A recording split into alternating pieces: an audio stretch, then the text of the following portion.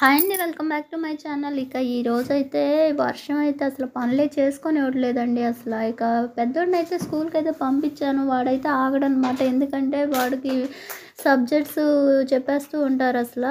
Portion అయిపోతూ ఉంటుంది fourth class కదా మళ్ళీ అర్థం కావు అని చెప్పేసి వాడు అసలు వెళ్తానని అంటాడు. వర్షాలు వచ్చిన ఆగుడు ఇక చిన్నోడిని ఏం చేస్తానంటే వర్షాలు ఈ చలిగాల్లో ఎందుకులే అక్కడికి వెళ్ళినా ఏముంది వీడికి ఏబిసిడి లేక నేర్పించేది అన్నట్టుగా నేను ఇంట్లో కూర్చోబెట్టి ఏయో ఒకటి రాయిస్తూ ఉంటాను. వర్షం పడ్డప్పుడు అయితే అసలు పంపనమాట అసలే చెత్తడి చెత్తడిగా ఉంటుంది. ఇంకా అందుట్లోనూ జలుబుగా ఉంటుంది పిల్లలందరూ చల్లగా ఉండిద్ది. చేపలు వేసి నిద్రపుచ్చుతారే కానీ ఎందుకులే అని చెప్పేసి పంపిననమాట ఇక బయట అయితే చేయాల్సిన పనులు బట్టలు అవన్నీ ఉన్నాయి. అవన్నీ చేద్దామంటే వర్షం పని ఆడ. ఆరకపోయినా ఏ కంఫర్ట్ వేసి ఇంట్లో తీగల మీద ఆరేస్తే గాలికి ఫ్యాన్ గాలి కన్నా ఆరుతాయి అనుకోండి. ఎందుకంటే దీపావళి ముసురు పట్టిందిగా ఎప్పుడు వదిలిద్దో తెలియదు అదే కొంచెం తెరిపిస్తే వెళ్ళి ఆ పనులు చేద్దామంటే ఎక్కడ తెరిపిస్తుంది? ఓ కుంభంగా అలా పడుతూనే ఉంటుంది. ఇక ఈయన ఇప్పుడు భోజనం చేసి బయటికి అయితే వెళ్ళారు. ఇక చిన్నోడైతే ఇక వాళ్ళ నాన్నతో పాటు అన్నం తిని నిద్రపోతున్నాడు వెచ్చగా. ఇక నేను ఏం చేస్తానంటే ఇక మిషన్ వర్క్ అన్నా చేసుకుందాం అని చెప్పేసి ఇక మిషన్ అయితే స్టార్ట్ చేద్దాం అనుకుంటూ ఎక్కానమాట ఇక నా మిషన్ జర్నీ గురించి ఈరోజు మీకు ఎక్స్ప్లెయిన్ చేద్దామని చెప్పి చిన్న వీడియో అయితే తీసానమాట చదువుకునే రోజుల్లో చిన్న చిన్న అంటే ఆల్రెడీ మా అమ్మకి మిషన్ కొంచెం వచ్చనమాట మా ఇంట్లో మిషన్ ఉండేది. ఇక దాంతో నాకేంటంటే కుట్లు వేసుకోవడం స్ట్రైట్ కుట్లు ఇలాంటి కుట్లు అన్నీ వేసుకోవడం చిన్న చిన్న చినిని కొట్టడం ఇలాంటివన్నీ ఆల్రెడీ వచ్చేస్తూ అలా వచ్చేయడం వల్ల ఏంటంటే ఇక చదువుకునే రోజుల్లో చిన్న చిన్నగా మిషన్ అనేది కొట్టడం అయితే నేర్చేసుకున్నాను. ఇక కటింగే రావాలి నాకు.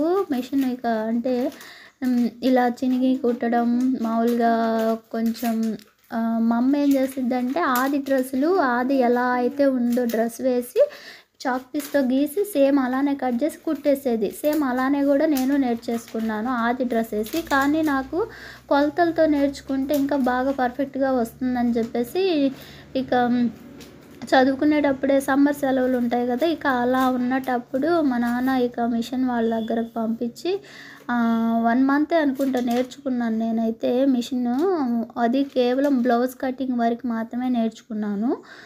వన్ మంత్కి ఫైవ్ హండ్రెడ్ ఎంతో తీసుకున్నారు. ఇక అప్పుడు కటింగ్ ఏదైతే నేర్చుకున్నానో ఇక కొంతకాలం అయితే మామూలుగా ఇక సెలవులు అప్పుడు అలా అప్పుడు కుట్టేదాన్ని. ఇక తర్వాత మళ్ళీ చదువుకుంటాం అది మర్చిపోవడం అలా అయితే సాగిపోయింది.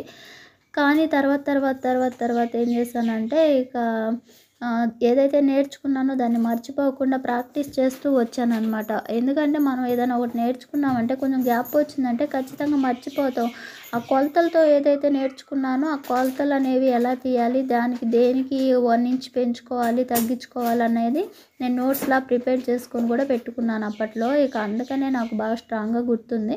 ఇక ఆ తర్వాత తర్వాత ఇప్పటి వరకు కూడా ఎప్పుడో నేను చదువుకున్న రోజుల్లో నేర్చుకున్న చిన్న మిషన్ మా నాన్న వాళ్ళు నేర్పించడం ద్వారా ఎప్పుడన్నా ఒక రూపాయి లేనప్పుడు ఏదైనా బ్లౌజ్ అర్జెంటుగా కుట్టాలి అని అంటే ఇక నేను బ్లౌజ్కి వచ్చేసరికి వన్ ఫిఫ్టీ టూ హండ్రెడ్ అయితే తీసుకుంటానమాట లైనింగ్ బ్లౌజ్కి మామూలు బ్లౌజ్కి అయితే ఒక హండ్రెడ్ వరకు మా పల్లెటూరు కాబట్టి.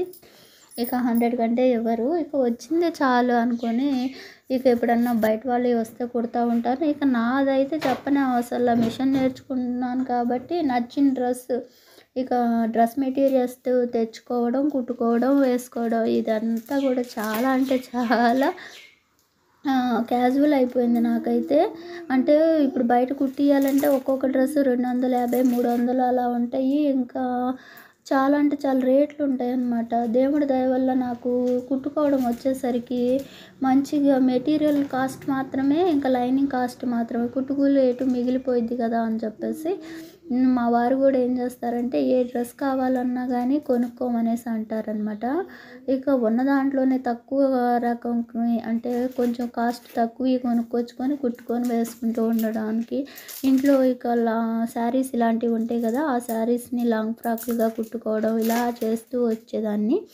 ఈ శారీ అనేది బ్లౌజ్ కుట్టలేదనమాట ఇక న్యూ ఇయర్ వస్తుంది దీపావళి వస్తుంది కదా సంక్రాంతి కూడా వస్తుంది.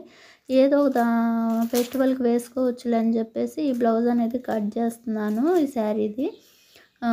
ఈ స్టిచ్చింగ్ కూడా మీకు నేను వీడియోలో అయితే చెప్తానమాట ఎలా నేను నేర్చుకున్నాను. చాలా సింపుల్ మెథడ్ పర్ఫెక్ట్గా అయితే వస్తుంది. నా బ్లౌజెస్ అన్నీ నేనే స్టిచ్ చేసుకుంటాను. మంచిగా అయితే కుదురుతాయి ఫిట్టింగ్ అనేది ఆ కటింగ్కి. ఇక ఇది కూడా కట్ చేసి పక్కన పెడదాము. తర్వాత ఎప్పుడన్నా కుట్టుకోవచ్చు. అసలు మామూలుగా జాకెట్ కటింగ్ అనేది చేసి పక్కన పెడితే నేను వన్ అండ్ హాఫ్ అవర్ అంటే నేను ఎక్కువ రెగ్యులర్గా రోజు మిషన్ ఎక్కను కాబట్టి ఒకటి గంటన్నర రెండు గంటల్లో కుట్టుకుంటా. అదే రోజు కుట్టే వాళ్ళకి ముప్పై గంట అరగంటలో కుట్టేస్తారనమాట జాకెట్ని. అంత ఫాస్ట్గా అవుతుంది. నేను నిదానంగా కుట్టుకుంటాను నా జాకెట్లు అనేవి.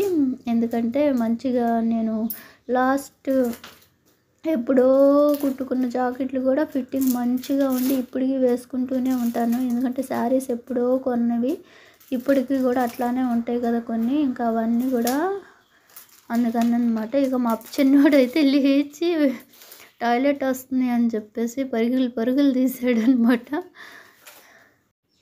మిషన్ నేర్చుకోవడం అని అంటే ఒక ఏమంటారు పాలకుండే అనమాట ఎప్పుడు కూడా అవసరానికి చేతిలో రూపాయి లేదా అని అనిపించుకోకుండా కమ్మగా కుట్టుకోవచ్చు. నేనంటే ఇక నాకేంటంటే రెండు పెద్ద ఆపరేషన్లు అవడం వల్ల నేను బయటవి ఎక్కువ కొట్టలేను. ఎక్కువసేపు కనుక కుట్టానంటే నడువు నొప్పి వచ్చేసింది అందుకనే నేను ఈ ఫీల్డ్ని ఇక జీవనోపాధిగా కాకుండా జస్ట్ నా నా రూపాయి నేను సేవ్ చేసుకోవాలి బయటికి వెళ్ళనీయకుండా.